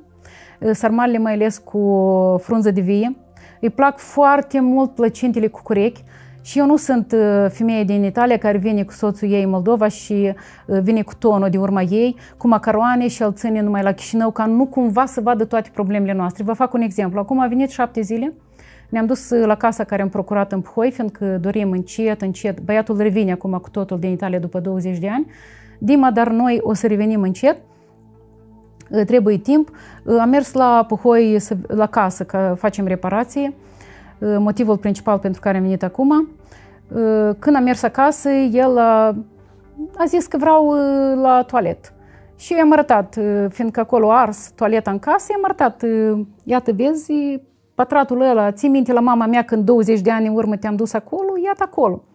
Și el a ajuns acolo, s-a uitat un pic, acolo de, de vreo șase ani nimeni nu s-a dus la viceu, dar a intrat, mi-a zâmbit și a spus, mi-aduc aminte cum era la bunei mei când eram eu copil mic. Deci ei au trăit mai rău ca noi. După al doilea război mondial cu planul Marshall s-a dezvoltat țara aceasta și ei au, cu industrializarea care a avut loc în anii 60-70, Italia a crescut. Deci eu când l-am cunoscut, i-am zis că eu în țară nu am avut ocazia să fac studii superioare, dar uite că la 40 de ani eu o să fiu laureat, așa i-am zis, în sociologie ca și tine. Și o să fac un ghid pentru moldovenii mei de orientare și integrare, cum ai făcut tu pentru oamenii tăi de afacere. Așa și a fost. La 40 de ani am finisat studiile și am făcut trei ediții a ghidului. El, deseori când venim în Republica Moldova, nu vrea să stea în casă deloc. Mergem la Phoi, mergem la Iloveni, mergem prin bisericile orașului Chișinău. Deseori, când acum au fost deschise nopțile muzeului european, am mers prin muzee și el interesează foarte mult, dat faptul că eu am procurat 28 de costume naționale am acasă în Roma și covoare, acum am luat de la Japca un covor. Am descoperit mănăstirea Japca prin intermediul unui film despre acele călugărițe. Am luat contact cu ele și le-am zis că eu vreau să susțin mănăstirea voastră, dat faptul că e de femei. Ce am făcut în timp? Le-am făcut un pic de publicitate, aproape de 1000 de euro am procurat miere deja de două ori de la ele, am procurat ierburi, până la 15 feluri de ierburi. Am procurat un covor care stătea în, unde are numai preotul voie să între, albastru, ceva cu flori de nostru tradițional.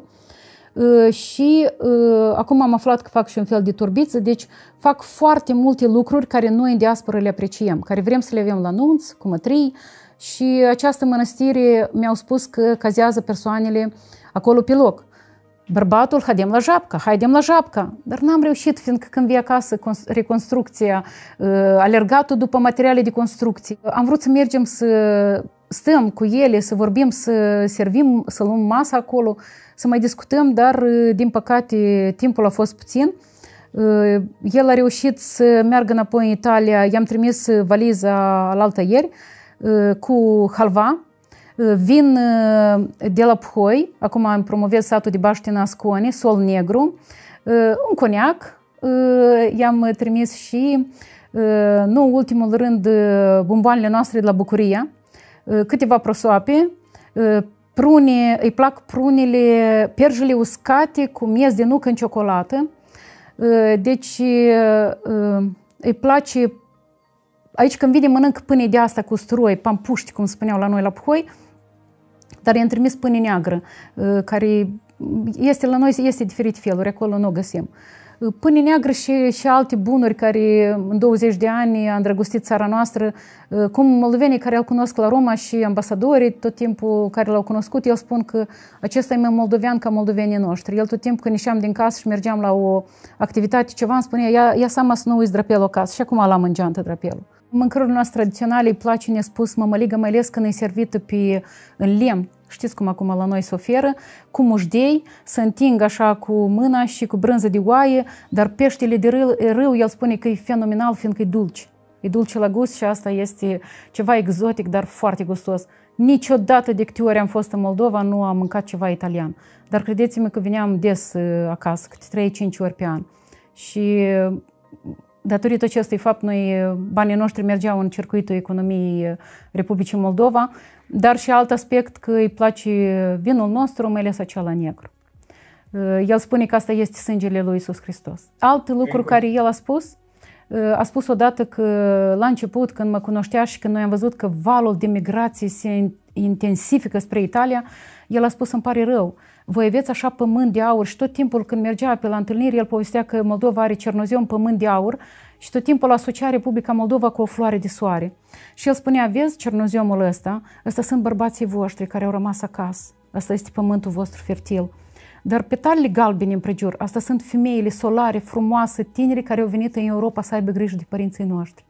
Păi iată, statul Republicii Moldova ar fi bine să gândească la politici ca să reîntoarcă aceste femei acasă, fiindcă cu timpul soarele, vântul, necazurile, depresia, aceste femei, deci aceste petale, poate să înceapă să o filească, poate să înceapă să scadă.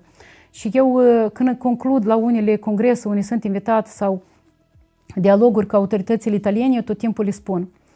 Uh, noi suntem ca niște albine. Am plecat după nectar. Am studiat fenomenul albinilor, fiindcă am câștigat un proiect și albinele când pleacă după nectar, uh, când se întorc înapoi la stupin, ele fac Uh, joacă, uh, uh, joacă în două feluri. Deci, dacă ele încep să se învârtească în cerc, alte albine înțeleg că mierea e undeva aproape.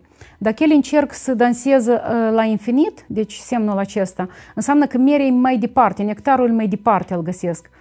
Dar, vreau să spun că sunt cazuri când albinele se rătăcesc. Deci de ce eu vreau să revin acum acasă? eu simt că mă rătăcesc. Și Albina când se reticește, moare. Și nu aș vrea să moară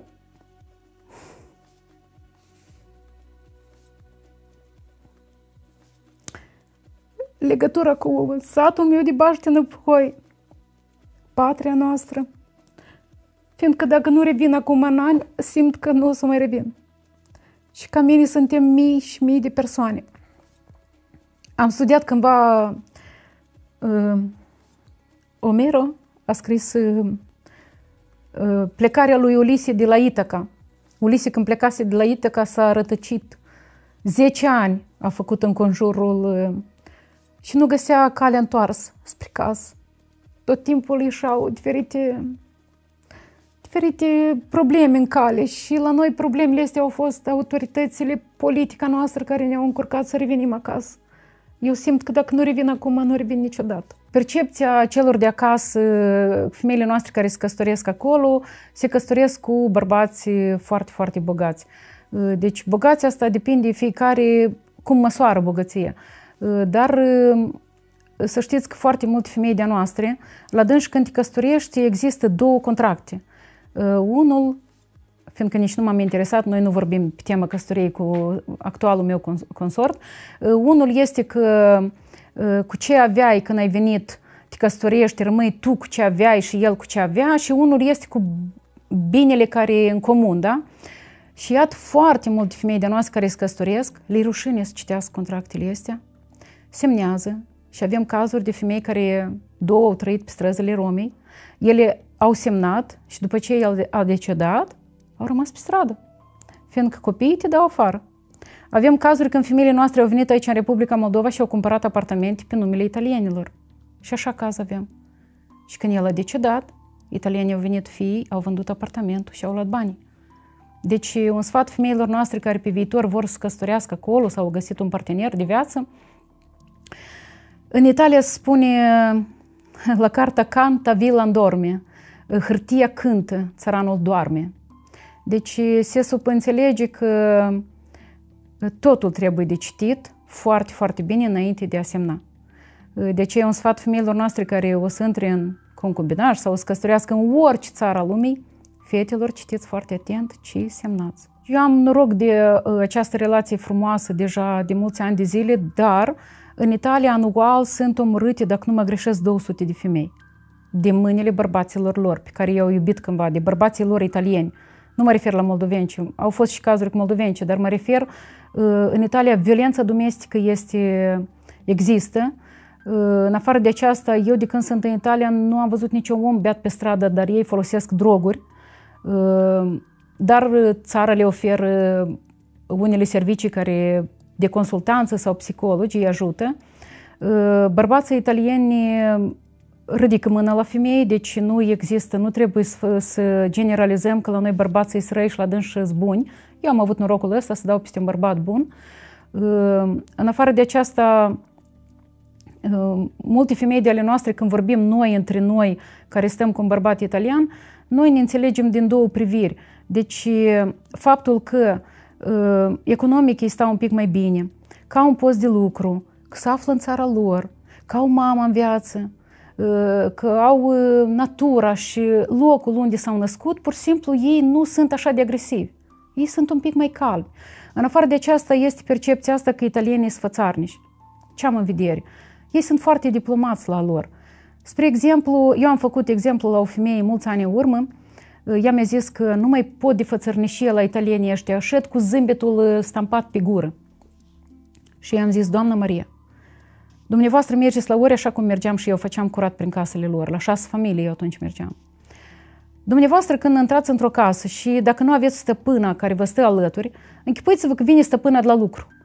Dar pentru dumneavoastră plătești soțul. Și iată, ea vede într-un colț acolo că e așa îmblă de urmă și te controlează cu mâna sau îți aruncă bani pe sub masă. La început și mie mi-aruncau bani să mă controleze dacă s-o hoață. Zic, închipuiți-vă că vine de la lucru, se așează pe scaun și vrea să te plătească și vede acolo colb. Dumneavoastră cum v-ar plăcea să se adreseze?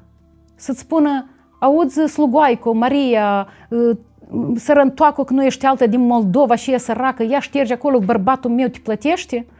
Sau alte cuvinte murdare, sau vor plăcea ca ea să așeze așa la masă, să facă o cafea și să vă așeze și pe dumneavoastră, să vă faceți, vă simțiți uman, om, și spună, în timp ce serviți cafea, cu un zâmbet așa stampat pe gură, să vă spună, Maria Cara, clădânș Cara, așa more mio este la, la putere, Maria Cara, ia uite acolo lecuță de colb, hai te rog, după ce servești cafeaua, al ștergi, că te plătește bărbatul meu și n-aș vrea nici eu probleme, dar nici ții probleme, știi? Zic, iată, doamna Maria, mie mi-ar plăcea diplomația lor. Și zâmbetul acela, fiindcă mie nu-mi place că la noi Moldova, un lucru ce nu-mi place, că oamenii îți spun în față ce gândesc. I-am zis, i-am trântit și îl las să știe că cine are de afacere. Asta se întâmplă între rude, asta se întâmplă în politică, asta se întâmplă la piață. Am fost cu bărbatul acum la piață, fiindcă el adoră piața centrală și el a spus că ea nu trebuie să dispară, fiindcă asta este un loc folcloristic, unde se văd mâinile astea muncitoare a oamenilor care produc producția dată, este de la kilometru zero, ei foarte mult adoră să mănânce natural. Și el știe că aici sunt, chiar dacă pasrednici, cum spune la noi, de el vinde omul ăsta cu găinușa, noi tot timpul cumpărăm de aici și ne ducem după colț și dăm la un om care șede cu cerutul. Desori cu dânsul am luat smântână, brânză, câte o găină, când mergem pe stradă, acum văd că nu mai sunt lumea care pe străzi vând, dar noi ne uitam la altul și ce facem? Procurăm și mergem după colț și era o persoană care cerea uh, flori, copii care vând flori, tot timpul este milă și lua flori și vedem o bătrânică și îi dădeam flori, zic, doamna, să creadă că am venit din Italia și am nebunit. Uh, și el spune că piața centrală ar trebui poate să fie un pic mai uh, aranjat, dar nu trebuie să dispară, că asta face parte din aspectul nostru, uh, cum a spus el, uh, social. El spune, voi vreți tot ca la noi să fie curat sau... Deci, dar pentru noi turiști, asta e foarte interesant. Și eu când vin turistul, eu prefer să cumpăr, mă duc și cumpăr de acolo. Mie personal tot nu mi-ar plăcea ca cineva să vină din rude și să-mi spună așa verde în ochi, să mi-o trântească cum gândește. Mi-ar plăcea să fim un pic mai diplomați, mai, mai cumpătați la vorbă, ă, fiindcă o vorbă ucide. Și s-a întâmplat deseori chiar în migrație rudele, nu mai vorbesc cu ani sau din pricina la o vorbă fiindcă noi suntem direcți, noi suntem moldoveni. Deci femeile noastre care muncesc de 20-25 de ani și fac numai această muncă pădantă, ele psihologic, emoțional sunt, nu sunt stabile. Uh, eram odată la aeroport în Chișinău, să fac un exemplu, și mă uitam uh, vara, uh, mă uitam la avioanele care plecau spre Turcia și reveneau din Turcia și analizam. Acolo erau familii tinere, cu copii. Dacă veneau din Turcia, erau toți abronzați, frumoși, relaxați. Dacă plecau în Turcia, la fel, familii cu genți moderne, uh, genți de marcă, uh, plecau spre Turcia la odihnă. Dacă mă uitam la avionul femeilor noastre, analizam mâinile lor, mă uitam cum ele, uh, uneori care muncesc cu deter- detergenți, noi când am plecat din țară aveam două feluri de detergenți în casă. Noi acolo când muncim la ei, le facem curat în casele lor, sunt peste 25 de feluri de detergenți. Deci, iată, această podea are un fel, dulap cealalt fel, fereastră altfel, parchetul altfel, oglinda altfel, lumina altfel, asta sunt detergenți chimici. Și femeile astea muncind cu acești detergenți, deseori ă, mâinile, dacă vă uitați la mâinile lor, sunt, să văd după, după mâini că fac această muncă, dacă nu se protejează, ă, se îmbolnăvesc ă, căile respiratorii, se îmbolnăvesc, dar cel mai tare se îmbolnăvesc psihologic.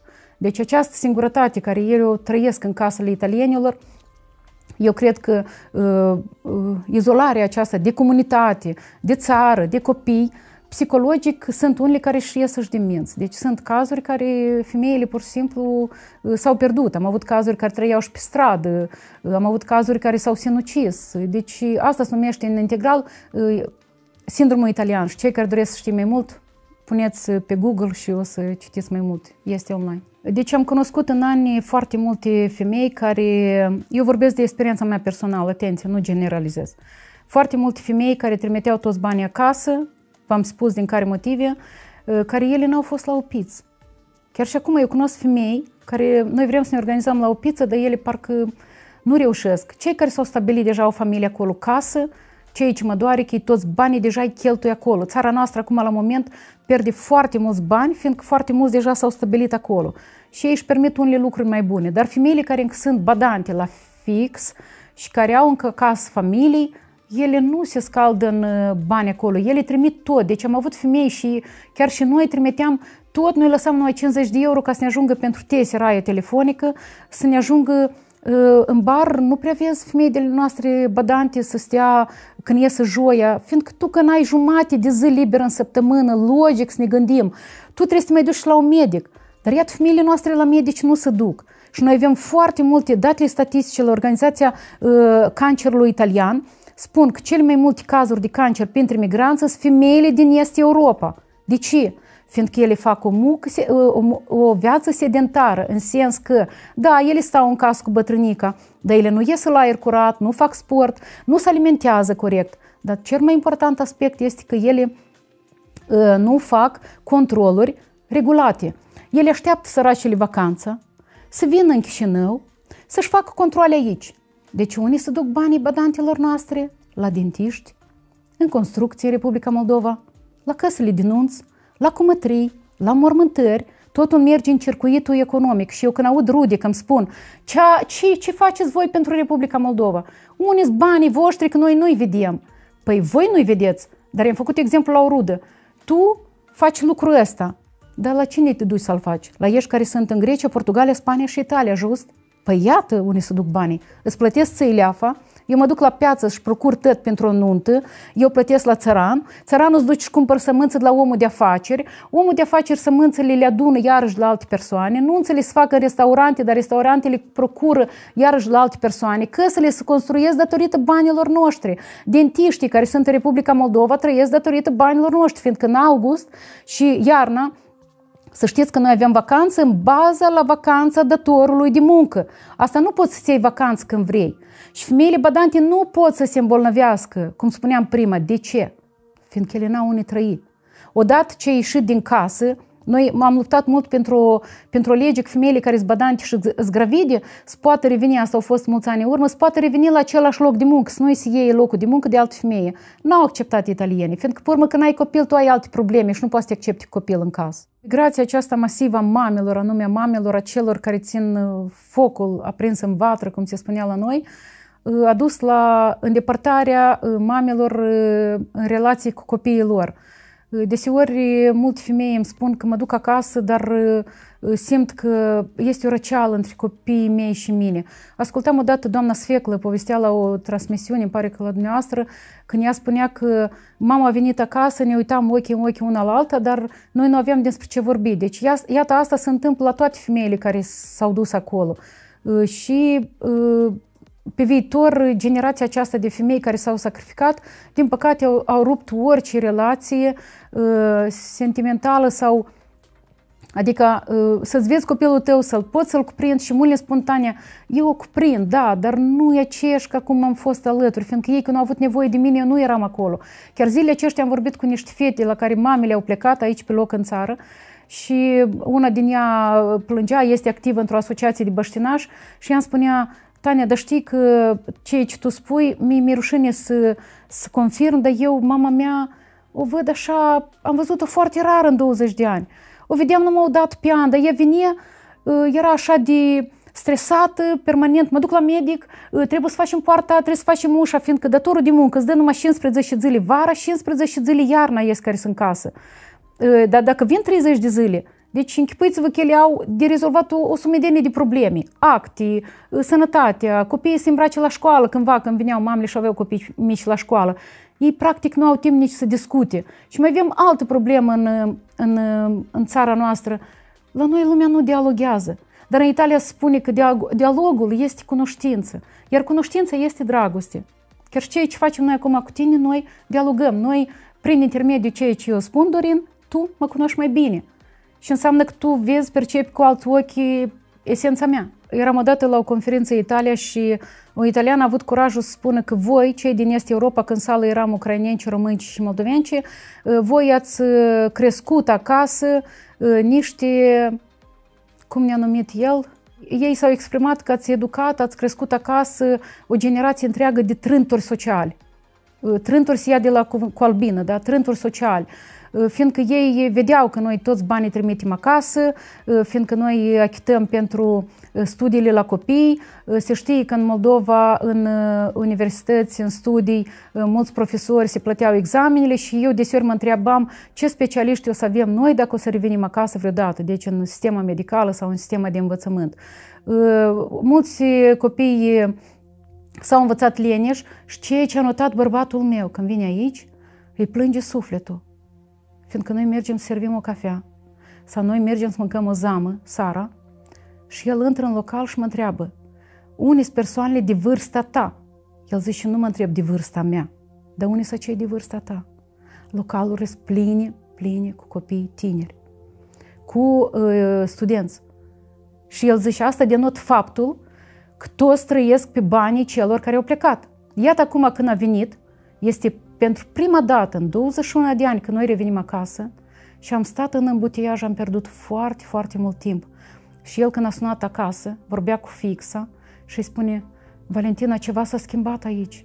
Fiindcă fixa tot e îndrăgostită de țara noastră, zice, aici atâtea mașini de lux am văzut, că el îmblă cu o utilitară de când îl cunosc 20 de ani, s-a rupt și a cumpărat acum altă utilitară folosită. Și el zice, eu nu înțeleg de unii bani în țara asta. Ei nu produc nimic. Ei nu au fabrici mari, ei nu au uzine. Și iată țara asta sunt pe spatele la femeile care lucrează la noi în Italia.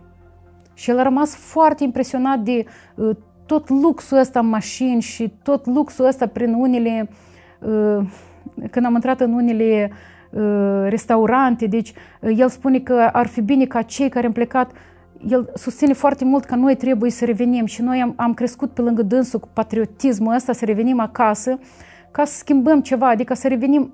Dar eu mă întreb, dacă noi revenim măcar 5% din milionul ăsta plecat, Chișinăul este, este capace, cum se spune, ca să ne accepte, fiindcă toți o să revină cu mașini și nu una de două, trei pe cap, fiindcă fiecare familie s-a obișnuit acolo uh, la străzi mai bune, uh, să aibă condiții. Deci eu numai din, din, vorbesc de ambuteiaj, că n-ar fi posibil noi să revenim acum acasă. Toate autoritățile ne spun reveniți acasă.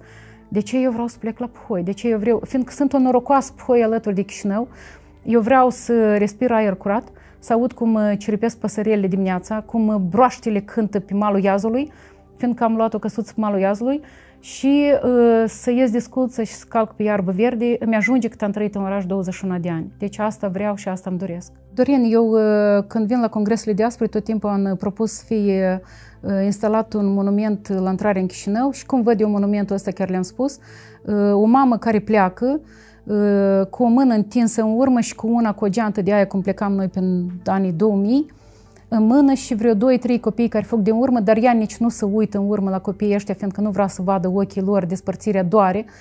Și iată, avem o generație de mame care s-au sacrificat ă, pe altarul patriei, cum mai spunem noi acolo uneori când vorbim între noi. Ă, din păcate, foarte multe puține spectacole se fac pe tema dată, foarte puține cărți se scriu pe tema dată ă, și ele când o să revină care nu au menținut familia o să găsească casa pustie. Ele o să revină bolnavi, fiindcă noi îmbătrânim și ne îmbolnăvim. Ele o să revină și o să aibă pensie mică. Colaborăm cu Patacli de la Chișinău, deci în Republica Moldova există vreo trei centri care deja oferă asistență femeilor care în Italia au lucrat. Ei oferă asistență cum să-și ceară pensia din Italia. Și eu cred că peste vreo 5-10 ani o să fie o revenire mai amplă a femeilor noastre, fiindcă acolo când ai 65-70 de ani, de nimeni nu te mai vrea, nici ei nu te vor, fiindcă nu ești capabilă să ai grijă de mama lor. Și din păcate când revii aici ești singură, bolnavă și cu o pensie mizeră. Și iată eu mă întreb, statul nostru este gata să primească oamenii ăștia înapoi? sau copiii ăștia au un lucru decent, o să-și poată să-și întrețină mamele, cine o să aibă grijă de mamele noastre care se întorc din Italia bolnave? În, în viitor, noi ne întrebăm în societate despre acest lucru sau ne este indiferent. Deci eu după 21 de ani de Italie, uh, îmi doresc foarte mult să revin acasă și o să revin împreună cu bărbatul care mi este alături. Uh, fiul Dima revine vara aceasta. El, chiar dacă acolo are studii în filozofie tomistă antică și agent imobiliar, el revine fiindcă noi suntem patrioți, fiindcă uh, ne doare sufletul pentru tot ce se întâmplă aici în țară, fiindcă dorim să revenim și anume la Puhoi și, mă rog, la Chișinău, uh, ne gândim la viitorul acestei țări, vrem ca statul să fie pregătit de reintegrarea noastră, fiindcă, sincer, eu zilele astea aflându-mă aici, mi-am dat seama că eu nu cunosc unde se află o stradă, eu nu cunosc, este Google, dar eu m-am pierdut cumva, fiindcă foarte multe lucruri s-au schimbat în 21 de ani și uh, aș îndemna autoritățile uh, pe viitor să facă politici de reintegrare a copiilor noștri. Nu mă refer la fiul meu care are 28 de ani, dar mă refer la cei părinți care vor să revină cu copiii lor, să se facă unele studii de caz, dacă este cazul, și ca acești copii când revin acasă să nu să se simtă străini, așa cum m-am simțit eu zilele acestea.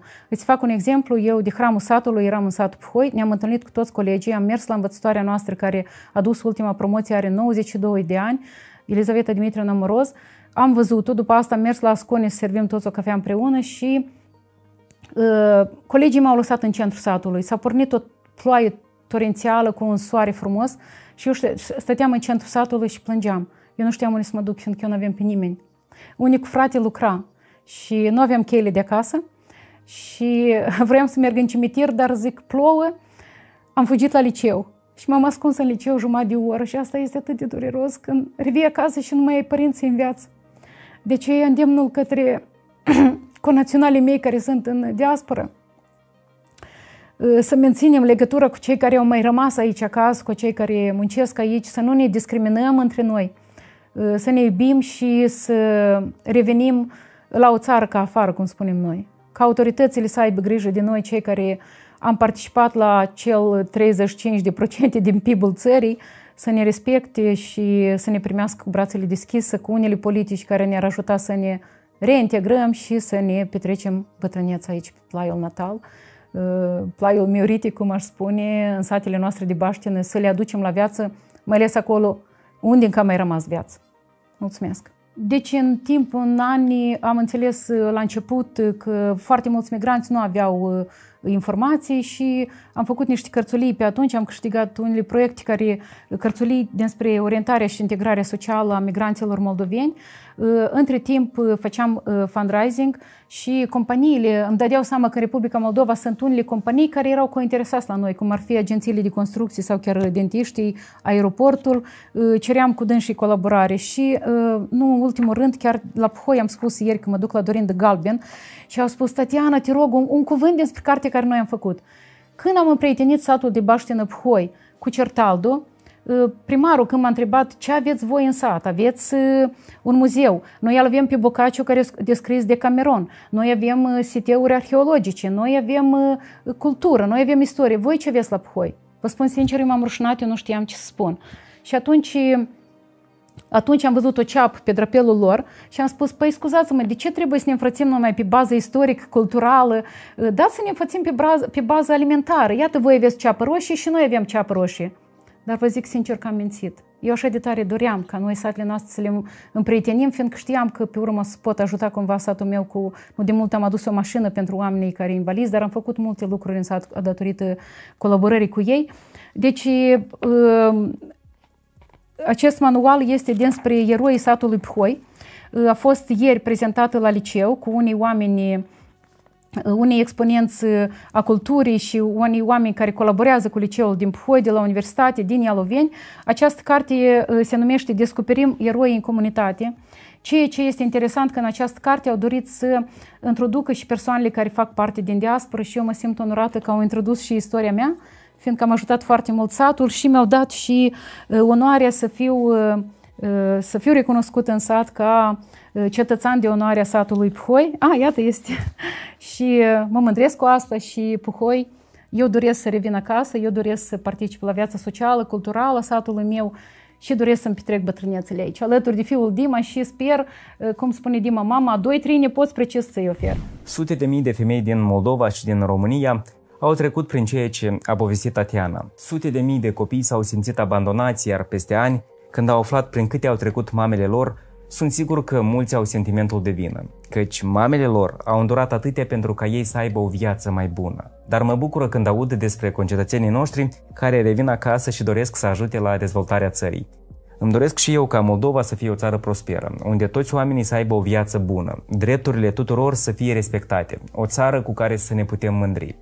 Dar nu trebuie să ne așteptăm că altcineva va schimba lucrurile în locul nostru ci noi trebuie să fim mai buni, mai respectuoși, mai atenți la nevoile celor din jur, mai ordonați, mai disciplinați și mai toleranți. Dacă v-a plăcut monologul de astăzi, nu uitați să puneți un like, să scrieți un comentariu și să-l distribuiți ca să-l vadă și prietenii voștri. Mulțumesc mult!